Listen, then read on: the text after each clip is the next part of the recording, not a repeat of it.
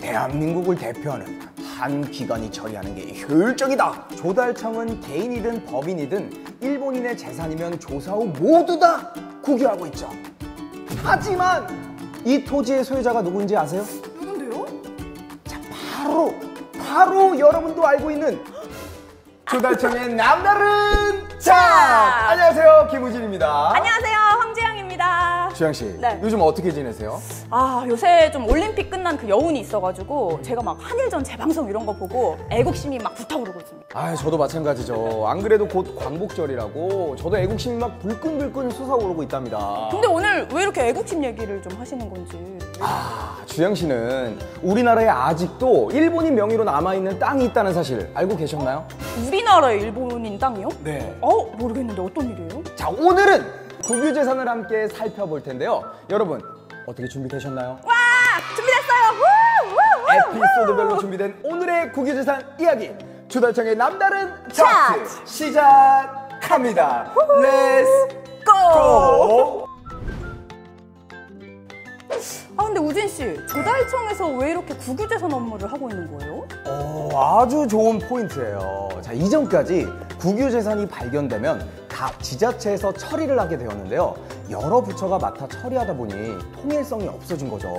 자, 그래서 기획재정부에서 대한민국을 대표하는 한 기관이 처리하는 게 효율적이다 라고 판단했고 2012년 국유재산법에 따라 조달청은 국유재산 관리 업무를 맡게 되었어요. 어, 그렇구나. 아니, 그러면 이 소유권이 국가한테 있는 재산, 그러니까 국유화된 그 재산은 도대체 어떤 종류들이 좀 있는 거예요? 자, 오늘 소개드릴 국유재산은 귀속재산과 은닉재산이에요. 자, 먼저 귀속재산은 장부에 남아있는 일본인, 일본 법인, 일본 기관의 명의의 재산을 말해요. 어, 그럼 저 의견 있어요. 딱 그 당시에 대부분 기록을 좀 했을 거니까 네. 정부가 남긴 그 기록을 보면 딱 알 수 있을 것 같아요. 누구 건지. 아, 그러면 얼마나 편하겠어요.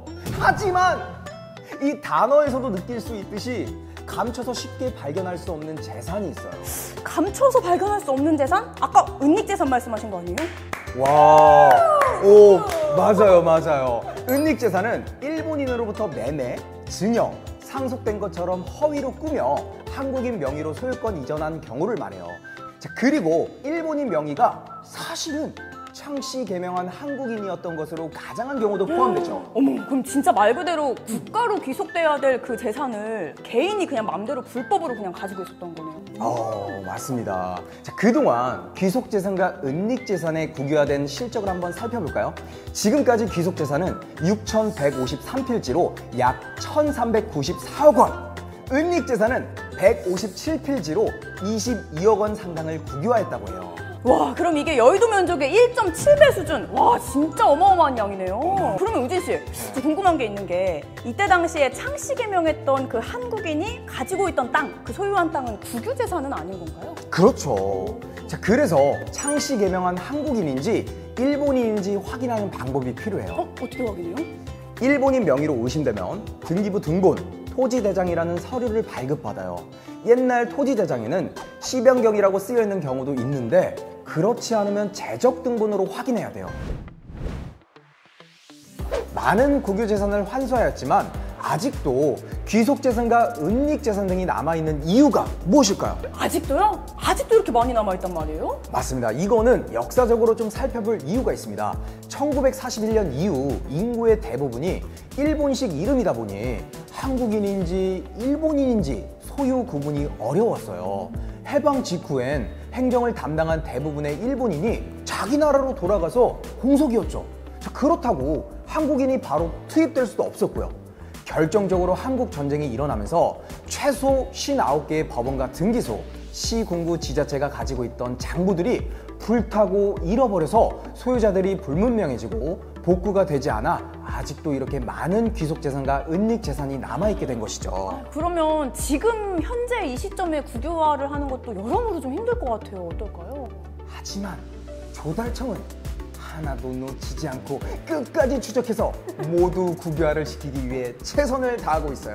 조달청의 남다른 차트! 길을 잃고 방황하다 우리의 품으로 제일 먼저 돌아온 국유재산입니다. 때는 2012년 조달청이 처음 업무를 맡았을 때였죠. 직접 조사하여 국유한 귀속 재산이 있는데 바로 경상북도 칠곡군에 위치한 토지입니다. 이 토지의 소유자가 누구인지 아세요?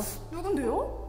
자, 바로 바로 여러분도 알고 있는 조선 총독부였는데요.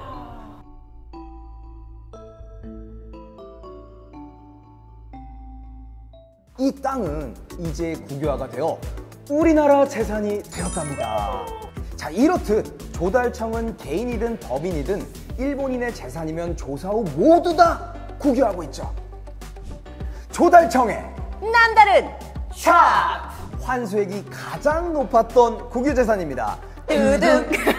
아니 근데 환수액이라고 하면은 국가로 귀속한 땅의 토지 금액 뭐 이런 건가요? 토지가액 이런 거 말하는 어, 거예요? 네, 맞습니다. 환수액이 가장 높았던 땅은 경기도 화성시 우정읍 내양리 땅 일부인데요. 2021년 현재 이 땅의 공시지가는 1제곱미터당 54,200원에서 55,200원으로 금액으로는 무려 2억 7,929만 2,600원입니다. 와 2억 7천 이거 진짜 억소리 나는 금액이네요. 엄청 비싼데?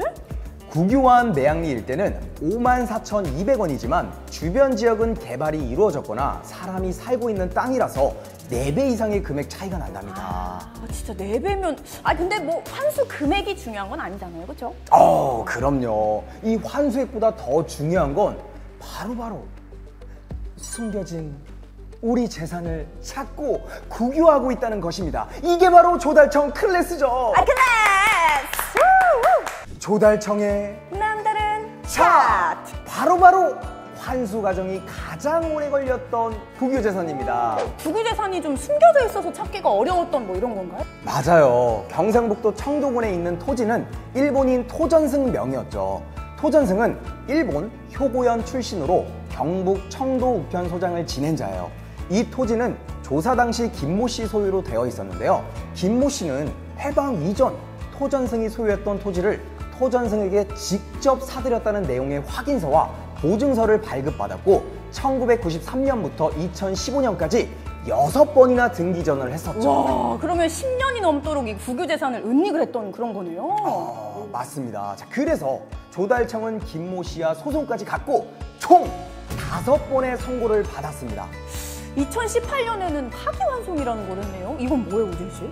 아, 이게 뭐냐면 대법원에서 최종 판결을 내리는데 이 판결 다시 심판하라 해서 직전 법원으로 되돌아간 판결을 파기환송이라고 해요. 아, 파기환송이 그런 뜻이었구나. 네, 파기환송을 했지만 결국 다시 재판을 통해 저희가 이길 수 있었답니다. 이겼습니다. 이겼다!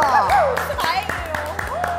조달청의 난다른 차트 우리 일상 속 스며든 일본인 명의의 토지입니다. 이 전라북도 군산시 장미동에 일본인 명의의 토지가 남아 있었는데요. 지금 보이시는 사진처럼 이미 도로로 건설되었죠. 그럼 이제 어떻게 되는 거예요? 자, 일본인이 가지고 있던 그 땅의 소유권을 국토교통부로 이전했죠. 지난 8월 11일 조달 청장님께서 이곳을 방문하셨다고 하네요.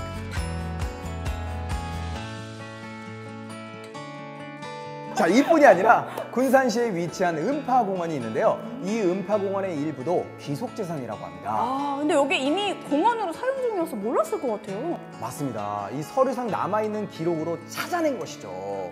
이미 공원이 건설되어 운영 중이라 일본인 소유였던 땅의 소유권을 기획 재정부로 이전한 사례죠. 아, 그럼 전체가 다 이제 우리 한국인의 땅이 된 거네요. 맞습니다. 주영 씨, 오늘 어떠셨나요? 아직도 근데 우리나라에 이렇게 잔재되어 있는 이런 일제 잔재 너무 많다는 거에 일단 첫 번째로 놀랬고 두 번째는 국유화를 위해서 이렇게 조달청에 최선을 다하고 있구나. 아, 진짜 감격스러워. 아, 맞습니다. 피가 끓어요. 네. 맞습니다. 저도 진짜 아주 애국심이 막 불타오르는데 구독자 여러분들도 오늘 중요한 정보를 아셨기를 바랍니다. 네, 그리고 또 중요한 게 아직도 남아있는 이 귀속재산, 은닉재산 이런 게 있잖아요. 네. 앞으로도 꾸준하게 좀 많은 분들이, 한국인 분들이 관심을 좀 가져주시면 좋을 것 같아요. 관심을 가져달라는 여기서 잠깐 퀴즈 나가도록 하겠습니다. 아! 퀴즈. 퀴즈! 자, 나가도록 하겠습니다. 일본인으로부터 매매 증여 상속된 것처럼 허위로 보며 한국인 명의로 소유권 이전한 경우 또한 현재 일본인 명의가 사실은 창씨 개명한 한국인이었던 것으로 가정한 경우에 이것은 무엇일까요? 아, 이건 진짜 오늘 영상 끝까지 보신 분들이라면 식은 죽 먹기고 네. 제가 좀 힌트를 드리면 어, 힌트요? 이거 영상 앞쪽에 있습니다. 어, 앞쪽에. 네, 앞부분을 주의 깊게 보시면 바로 맞추실 수 있어요. 좋습니다. 네. 자, 조달청은 이것을 끝까지 추적해 반드시 환수할 테니까요. 많은 관심 부탁드립니다. 네, 바로 댓글로 정답을 써주시면 되고요. 끝까지 추적하는 우리 조달청 누가 맞겠습니까? 아, 맞습니다. 조달청의 남다른 차트. 다음에 또, 또 만나요. 만나요. 안녕. 나 또 올 거야.